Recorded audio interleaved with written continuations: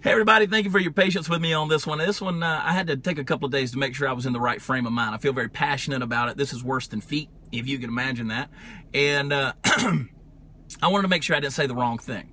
You know those little pieces of plastic that people wear on the side of their head, uh, stuck in their ear, the Bluetooth connectors to their phone that they need to wear 24 hours a day, seven days a week, whether they're using the bathroom, sleeping, or having sex? I need you to stop wearing it. I understand if you're driving down the street, you need hands free. For safety's sake, by all means, go ahead. But the other day, I'm walking down the aisle of a store.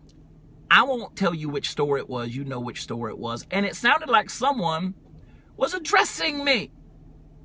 I turned around politely in order to acknowledge them, only to get an evil look and a point, telling me that they were on a telephone call. Well, let me tell you something, Billy businessman over there making a million dollar deal. First of all, I know where you are. So save the conversation trying to impress everybody for your private jet, Bill Gates. I know where you're headed back out to the parking lot to get into your Ford Escape and drive off. I shouldn't say that. I'm sitting in a Ford Escape. And why is it necessary for everybody wearing one of those things to feel the need, especially in places like the airport, to share their conversation with everyone within a 150 foot radius? Oh yeah, man, we're going to move like 125,000 units. It's going to be at least like a 1.3 million dollar deal. Thank you very much, Warren Buffett. Unless your name is Tony Stark, and you have just summoned an Iron Man suit to come pick you up, I need you to take that out of your brain.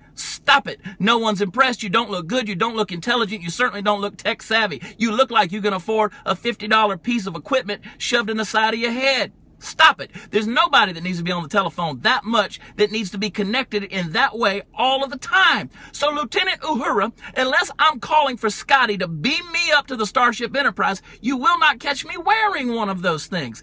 No one needs to be on the phone that much. If you are, then you are steadily working on a brain tumor. In fact, let me make a movement. We can just move it all over to text messaging. I don't have to hear anyone, and it gives us all peace and quiet. And I need that. Namaste. I love you. God bless. But stop wearing.